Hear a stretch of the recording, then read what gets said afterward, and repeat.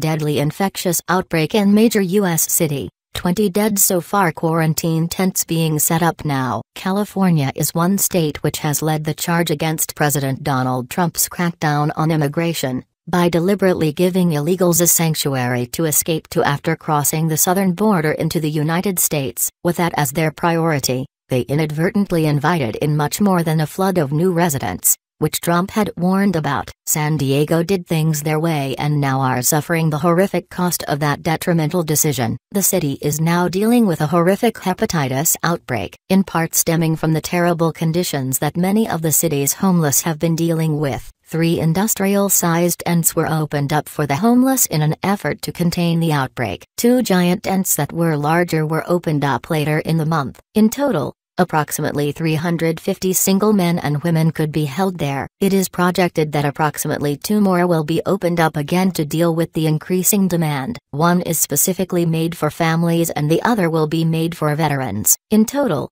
they should all be able to hold 700 people collectively. 20 people so far have been killed due to the hepatitis A outbreak. It is the worst outbreak of its kind in over 20 years. The virus itself is expected to have been contained and contracted from feces. Since many homeless people defecate in the street, it is not at all uncommon that homeless people could contract it that way. Bob McElroy of the Alpha Project said, there's going to be a marked difference in what we see on the streets today and what we see at this time next year. The nonprofit helped to fundraise for and open the tent that opened just this past Friday. It was created because of not only the outbreak but increasing numbers of homeless people. If this strain of hepatitis is found on the street and the number of homeless people is continuing to rise, then it is not a ridiculous theory to say that this outbreak number will continue to rise as well.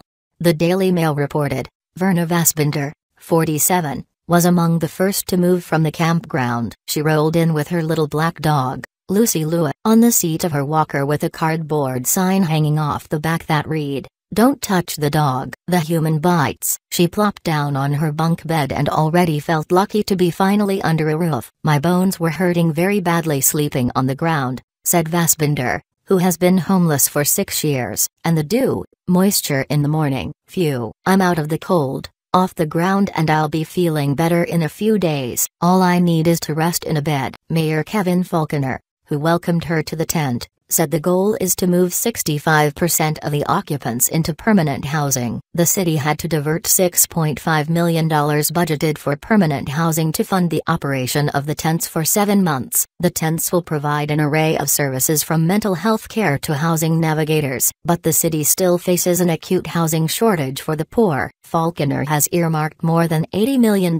in funds to address the problem. Gemma Liberato lives a block away from the tent that opened Friday. She said she is glad to see the streets being cleaned up but she worries it may attract more homeless. Last Sunday, a homeless man high on drugs and with a bleeding hand ran into her apartment when she opened the door and locked himself in the bathroom. She and her six year old son ran out and called the police. The man broke things in her bathroom left bloodstains on the floor and scared her. If this makes things more orderly then I support this, she said. But I'm worried. I don't want this to bring in more homeless to the area and people using drugs. There are families with children around here. Look at some of the people who have been affected.